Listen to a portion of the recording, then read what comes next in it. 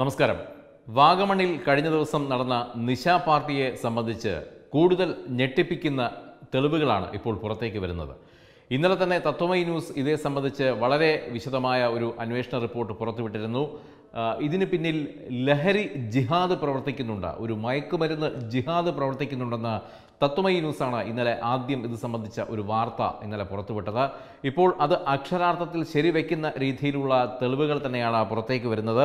Vagamon വട്ടപ്പാതലിലെ cliff in റിസോർട്ടിൽ നടന്ന നിശാ പാർട്ടിയിൽ ലഹരി മരുന്ന് എത്തിച്ചത് ബാംഗ്ലൂരിൽ നിന്നും അതുപോലെ മണാലിയിൽ നിന്നുമാണെന്നുള്ള വിവരം ഈ അവസരത്തിൽ ലഭിക്കുകയാണ്.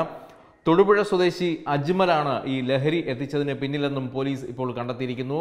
ഇതിന് തെളിവായി പോലീസ് നിരത്തുന്നത് മണാലിയിലേക്ക് കഴിഞ്ഞ ദിവസങ്ങളിൽ ഇദ്ദേഹം നടത്തിയ യാത്രയുടെ വിവരങ്ങളാണ്. മണാലി വഴി ബാംഗ്ലൂരിലെത്തുകയും അവിടെ നിന്ന് ബാംഗ്ലൂരിൽ നിന്നും എൽ എസ് ടി ഡി സ്റ്റാമ്പും എം ഡി എം ഐയും ഇവിടേക്ക് എത്തിച്ചതായും പോലീസ് ഇപ്പോൾ കണ്ടെത്തിയിട്ടുണ്ട്. വൻ ലഹരി മരുന്ന് വിൽപ്പന മുന്നിൽ ലക്ഷ്യം വെച്ച് തന്നെയാണ് ഇത്തരത്തിൽ ഒരു നിശ പാർട്ടി അവിടെ ക്രമീകരിച്ചത്. അതുപോലെ തന്നെ ലൗ ജിഹാദിന്റെ മറവ് പറ്റി. ലവ് ജിഹാദിന്റെ അതേ പാത പിന്തുടർന്നുകൊണ്ട് ഹിന്ദു യുവതികളെ മതം മാറ്റി ഇത്തരത്തിലുള്ള ജിഹാദി പ്രവർത്തനങ്ങൾക്ക് വേണ്ടി അവിടേക്ക് അവരുടെ സംഘത്തിലേക്ക് എത്തിക്കുക എന്ന ഒരു ഉദ്ദേശം കൂടി ഇതിന് പിന്നിലുണ്ട്. കാര്യം വളരെ വ്യക്തമാണ്. ഈ ഒരു അവിടെ നിന്നും പിടികൂടിയ ഭൂരിഭാഗം വരുന്ന സംഘത്തിലെ ഭൂരിഭാഗം പേരും ഹിന്ദു പെൺകുട്ടികളായിരുന്നു. കൂടെ ഉണ്ടായിരുന്ന പുരുഷന്മാരിൽ ഏറെ ഭാഗവും വിവാഹിതരായ മുസ്ലിം യുവാക്കളുമായിരുന്നു. ഈ അവിവാഹിതരായ ഹിന്ദു പെൺകുട്ടികൾ തന്നെയാണ് ഇത്തരത്തിൽ ആ, പാർട്ടിയിൽ പങ്കെടുത്തതിൽ ഏറിയ ഭാഗവും എന്നുള്ള കാര്യം ഇപ്പോൾ ആ, ഒരു വിവരവും പുറത്തേക്ക് വരികയാണ്.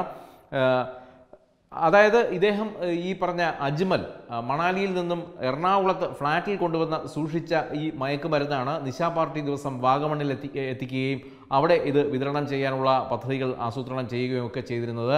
ഇതിനിടയിലാണ് നക്കോട്ടിക് സെല്ലിന്റെ രഹസ്യ വിവരം ലഭിച്ചതിന്റെ അടിസ്ഥാനത്തിൽ അവരവിടെ റെയ്ഡ് നടത്തുകയും ഈ നിശാ പാർട്ടിയിൽ പങ്കെടുത്തവരെ അറസ്റ്റ് ചെയ്യുകയും ഒക്കെ ചെയ്തത്.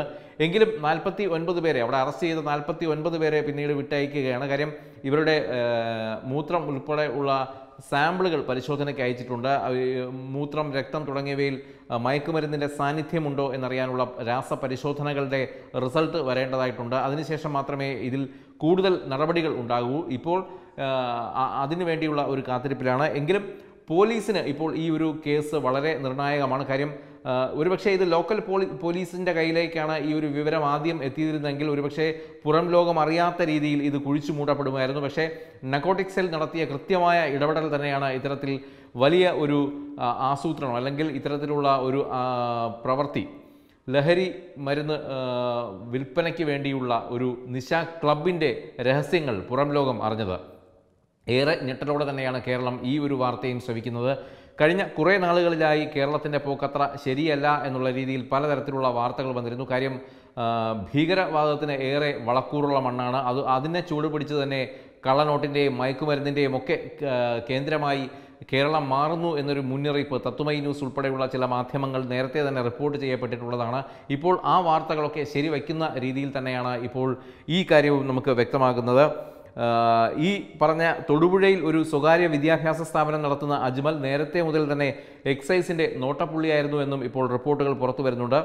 ആഡംബര വാഹനങ്ങളിൽ നടക്കുന്ന ഇയാൾ ഇടുക്കിയിലെ പ്രധാന ലഹരി ഇടപാടുകാരിൽ ഒരാളാണെന്നും ഇപ്പോൾ പോലീസ് പറയുന്നുണ്ട്. അജ്മലിന്റെ കണ്ണികളെക്കുറിച്ച് ഇന്റലിജൻസും ഇപ്പോൾ എക്സൈസിന്റെ ഇന്റലിജൻസ് വിഭാഗവും അന്വേഷണം ആരംഭിച്ചിട്ടുണ്ട്. നമുക്കറിയാം ശ്രീലങ്കയിൽ കഴിഞ്ഞ വർഷം സ്ഫോടനം ഉണ്ടായതിനു ശേഷം തമിഴ്നാടും കേരളവുമൊക്കെ കേന്ദ്രീകരിച്ച് ഇത്തരത്തിൽ മയക്കുമരുന്നും അതുപോലെ തന്നെ വിധ്വംസക പ്രവർത്തനങ്ങളും അരങ്ങേറുന്നതായി നമ്മുടെ ഇന്റലിജൻസ് വൃത്തങ്ങൾ പല പല ഒരു തന്നെ മുന്നറിയിപ്പുകൾ നൽകിയിട്ടുണ്ടെങ്കിലും സംസ്ഥാന പോലീസ് പലപ്പോഴും അത് വേണ്ട വിധത്തിൽ ഗൗരവത്തിൽ എടുത്തിരുന്നില്ല. ഈ ഇത് സംബന്ധിച്ച വാർത്തകൾ തത്വമൈ ന്യൂസ് തന്നെ നേരത്തെ പുറത്തുവിട്ടിരുന്നു. കാര്യം ഇത് അത്ര അലംഭാവത്തോടെ കണ്ണുകൾ കണ്ണടച്ച് കളയാനുള്ള കാര്യമല്ല. ഇത് കണ്ണ് തുറന്ന് കാണേണ്ട കാര്യമാണ്. ഒരു നിരീക്ഷണം ഇവിടെ വേണം. പ്രത്യേകിച്ചും വാഗമൺ പോലുള്ള സ്ഥലങ്ങളിൽ നേരത്തെയും സിമിയുടെ ആക്ടിവിറ്റീസും ഒക്കെ നടന്ന പ്രദേശമാണ്. അതുകൊണ്ട് തന്നെ ഇത്തരം പ്രദേശങ്ങൾ ഇത്തരം വിഭാഗക്കാർക്ക് ഒരു വളക്കൂറുള്ള മണ്ണാണ്. പൊതുവെ ടൂറിസ്റ്റ് കേന്ദ്രമായിട്ടാണ് വാഗമൺ അറിയപ്പെടുന്നതെങ്കിലും ഇന്ന് ഇത്തരത്തിലുള്ള ഇത്തരം പ്രവൃത്തികൾ ചെയ്യുന്നവരുടെ ഒരു ആവാസ കേന്ദ്രം കൂടിയായി മാറിയിരിക്കുന്നു എന്ന് നമുക്ക് പറയാതിരിക്കാൻ നിർവാഹമില്ല. കാര്യം അത്തരത്തിലാണ് ഈ ഓരോ ദിവസവും പുറത്തു വരുന്ന വാർത്തകൾ നമുക്ക് അതിലൂടെ നമുക്ക് മനസ്സിലാക്കാൻ കഴിയുന്നത്. അതേസമയം ഈ സംഘം ഇതിനു മുമ്പും മൂന്നാറിലും കൊച്ചിയിലും വയനാടും ലഹരി പാർട്ടി നടത്തിയിരുന്നതായും പോലീസ് ഇപ്പോൾ കണ്ടെത്തിയിട്ടുണ്ട്. കാര്യം അവിടെയൊക്കെ നടന്ന പാർട്ടികളുടെ ഫണ്ടിംഗ് നടത്തിയിരുന്നത് ഇതേ സംഘമാണെന്നുള്ള തെളിവുകൾ പോലീസിന് ഇപ്പോൾ ലഭിച്ചിരിക്കുന്നു. ഈ- അറസ്റ്റിലായതിൽ ഏറ്റവും ഇന്നലെ തന്നെ നമ്മൾ പറഞ്ഞിരുന്നു ഒരു ഒരു നടി ഒരു യുവ നടി ഇതിലുണ്ട് എന്നുള്ളതാണ്. അതിൽ ഈ ഒൻപത് പേരിൽ ഇപ്പോൾ അറസ്റ്റ് രേഖപ്പെടുത്തിയതിൽ ഈ യുവതി ബ്രിസ്റ്റി ബിശ്വാസ് എന്ന ഒരു യുവതിയാണ്. അവർ പരസ്യ ചിത്രങ്ങളിലും മറ്റും അഭിനയിക്കുന്ന ഒരു മോഡലാണ്. അപ്പോൾ ഇത് കേന്ദ്രീകരിച്ച് കൊച്ചിയിൽ ആണ് ഇത്തരത്തിലുള്ള പരസ്യ ചിത്രങ്ങളുടെയും മോഡലിങ്ങിന്റെയും ഒക്കെ ഒരു കേന്ദ്രം. അപ്പോൾ ആ ഒരു മേഖലയിലേക്കും ഈ മയക്കുമരുന്നിന്റെ ഒരു വ്യാപനം നടത്താൻ ഈ ഇവർ ഒരു ലിങ്കായി പ്രവർത്തിച്ചിട്ടുണ്ട് എന്നുള്ള ഒരു കാര്യവും ഇപ്പോൾ പുറത്തേക്ക് വരുന്നുണ്ട്. ഇനി ഇവരുമായിട്ടുള്ള കൂടുതൽ ചോദ്യം ചെയ്യലിലെ അത് സംബന്ധിച്ചുള്ള കൂടുതൽ വിവരങ്ങൾ പോലീസിന് ലഭ്യമാകൂ.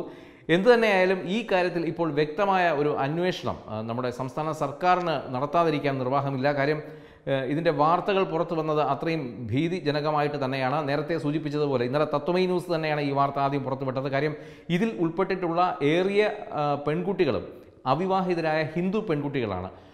അതിന്റെ മറ്റൊരു കാര്യം പരിശോധിക്കുകയാണെങ്കിൽ പുരുഷന്മാരുടെ കാര്യം നോക്കുകയാണെങ്കിൽ എല്ലാം വിവാഹിതരായ മുസ്ലിം ചെറുപ്പക്കാരാണ്. മുസ്ലിം വിഭാഗത്തിനെ ആക്ഷേപിക്കാനോ അധിക്ഷേപിക്കാനോ അല്ല ഈ വാർത്ത ഇപ്പോൾ നമ്മൾ പറയുന്നത്. പക്ഷേ ലവ് ജിഹാദ് എന്ന് പറയുന്ന ഒരു കാര്യം വളരെ നേരത്തെ തന്നെ കേരളത്തിൽ വേരി പിടിച്ചു കഴിഞ്ഞു എന്നുള്ള വാർത്തകൾ നമ്മൾ വളരെ മുമ്പ് തന്നെ റിപ്പോർട്ട് ചെയ്യപ്പെട്ടതാണ്. അതിന്റെ വകഭേദങ്ങളും ഇവിടെ വേരൂന്നി കഴിഞ്ഞതായി നമ്മൾ റിപ്പോർട്ടുകൾ നൽകിയിരുന്നു. അത് ഇപ്പോൾ സത്യമാകുന്ന രീതിയിൽ തന്നെയാണ് ഇത്തരത്തിൽ ലഹരി ജിഹാദ് അല്ലെങ്കിൽ മയക്കുമരുന്ന് ജിഹാദ് ഇപ്പോൾ ഈ ഇത്തരത്തിൽ കേരളത്തിൽ ഒരു വേരോട്ടം നടത്തുന്ന കാഴ്ച നമ്മൾ ഈ ഒരു സംഭവത്തിലൂടെ കാണുന്നത്. എന്തു തന്നെയായാലും ഇതിനെക്കുറിച്ച് സമഗ്രമായ അന്വേഷണം വേണം. ഈ പ്രത്യേകിച്ചും പുതുവർഷം അടുത്തിരിക്കുന്ന ഈ സമയത്ത് വൻ ലഹരി വിൽപ്പന മുന്നിൽ കണ്ടുകൊണ്ട് തന്നെയാണ് ഇത്തരം സംഘങ്ങൾ ഇവിടെ ഈ ഇത്തരം നിശാ പാർട്ടികളുടെ പ്രവർത്തനവുമായി മുന്നോട്ട് പോയിരിക്കുന്നത്. ഒരു വാട്സപ്പ് ഗ്രൂപ്പ് വഴിയാണ് ഇത്തരത്തിൽ ആളുകളെ കൂട്ടുകയും അവിടെ നിശാ പാർട്ടി സംഘടിപ്പിക്കുകയും ചെയ്ത് എന്നതും ഈ ഇതിന്റെ സുരക്ഷാ കാര്യങ്ങളിൽ വലിയൊരു വീഴ്ചയായി മാറിയിരിക്കുന്നു. കാര്യം ഒരു വാട്സപ്പ് ഗ്രൂപ്പിന് കൊണ്ട് മാത്രം നമ്മുടെ നാട്ടിൽ പലതും ചെയ്യാനാകും എന്നുള്ളതിന്റെ ഒരു തെളിവ് കൂടിയായി മാറുകയാണ്. നമുക്കറിയാം നേരത്തെ ഒരു ഹർത്താൽ ആഹ്വാനം വാട്സപ്പ് വഴി ഉണ്ടായതിന്റെ ഭവിഷ്യത്തുകൾ എന്തായി എന്നുള്ളത്. അതുപോലെ തന്നെ വാട്സപ്പ് ഗ്രൂപ്പുകൾ നല്ല കാര്യങ്ങൾക്ക് വേണ്ടി നമ്മൾ വാട്സപ്പ് ഗ്രൂപ്പുകൾ ഉണ്ടാക്കാറുണ്ട്. പക്ഷേ ഇത്തരത്തിലുള്ള അസാൻമാർഗിക പ്രവൃത്തികൾക്ക് വേണ്ടിയും വാട്സപ്പ് ഗ്രൂപ്പുകൾ പ്രവർത്തിക്കുന്നു എന്നത് പോലീസിന് വലിയ തലവേദനയാകുന്നുണ്ട്. അതുകൊണ്ട് തന്നെ വരുന്ന ദിവസങ്ങളിൽ സൈബർ നിരീക്ഷണവും ശക്തമാക്കാനുള്ള ഒരു തീരുമാനം വന്നിട്ടുണ്ട്. ന്യൂ ഇയറിന് ഇനി ഒരാഴ്ച മാത്രമാണ് ബാക്കി. അപ്പോൾ ഇത്തരത്തിലുള്ള സംഘങ്ങൾ ഇനി ഇതിന്റെ ബാക്കി പത്രങ്ങളായി എവിടെയെങ്കിലും ഉണ്ടെങ്കിൽ അവയ്ക്കെതിരെയും പിടിമുറുക്കേണ്ടതായിട്ടുണ്ട്. നമുക്കറിയാവുന്നതുപോലെ ഈ അടുത്ത കാലങ്ങളിലായി നമ്മുടെ അന്വേഷണ സംഘങ്ങൾ എല്ലാം തന്നെ ഉണർന്ന് പ്രവർത്തിക്കുന്ന ഒരു സമയമാണ്. അതുകൊണ്ട് തന്നെയാണ് ഇത്തരത്തിൽ വളരെ വേഗം ഈ ഇത്തരത്തിൽ നിശാ പാർട്ടി ഈ ലഹരി കേന്ദ്രീകരിച്ച് നടന്ന ഈ നിശാ പാർട്ടിയിലെ ആളുകളെ പിടിക്കാനായത് എന്ന് വേണം ഈ ഒരു ഘട്ടത്തിൽ നമുക്ക് അനുമാനിക്കാൻ. എന്തായാലും ഇതിന്റെ കൂടുതൽ വിശദാംശങ്ങൾ കൃത്യമായ വിവരങ്ങൾ ലഭ്യമാകേണ്ടതുണ്ട്. അതുവരെ നമുക്ക് കാത്തിരിക്കാം. Web desk തത്വമായി.